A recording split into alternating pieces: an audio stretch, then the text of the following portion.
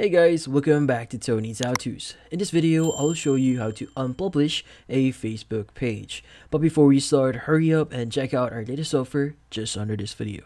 So let's get started. So first thing that we need to do here is we need to go to facebook.com, log in into our account, and once logged in, we need to change to our Facebook account or our Facebook page account. Now at the top right of the screen, go ahead and click on your account and from here choose the Facebook page that you want to unpublish. Now go ahead and click on it and it should actually reload your page here. Now in this case, what we need to do next is we need to access our settings. So again, click on your account here, click on settings and privacy and click on settings. Now under settings, what we need to do is we need to choose the privacy option here. And under privacy, you want to go to Facebook page information. Now under Facebook page information, choose the option here that says deactivation and deletion. Click on view. Now in this case, unpublishing your Facebook page here is called deactivating the page itself. Now when you actually deactivate your page here, nobody can see your Facebook page and in this case, this is what we are achieving here. Let's go ahead and click on deactivate page here and click on continue. Now from here, it's going to ask you to enter your password, so go ahead and enter your password.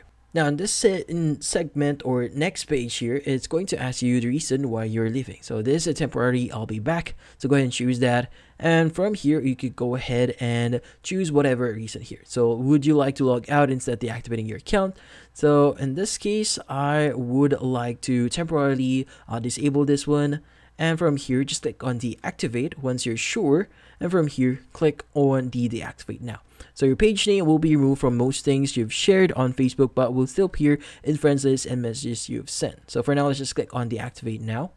And it should initiate the process of deactivating your account now in this case, if you want to view your previous pages, so let's go to pages here. And in here at the pages section, you should be able to see the deactivate pages here. As you can see, it is the page that we just recently deactivated. Now, in this case, if you want to reactivate it, just click on the reactivate page option. And from then on, you should be able to publish it again. And that's about it. So if you found this video helpful, hit the like and subscribe button and watch our next video.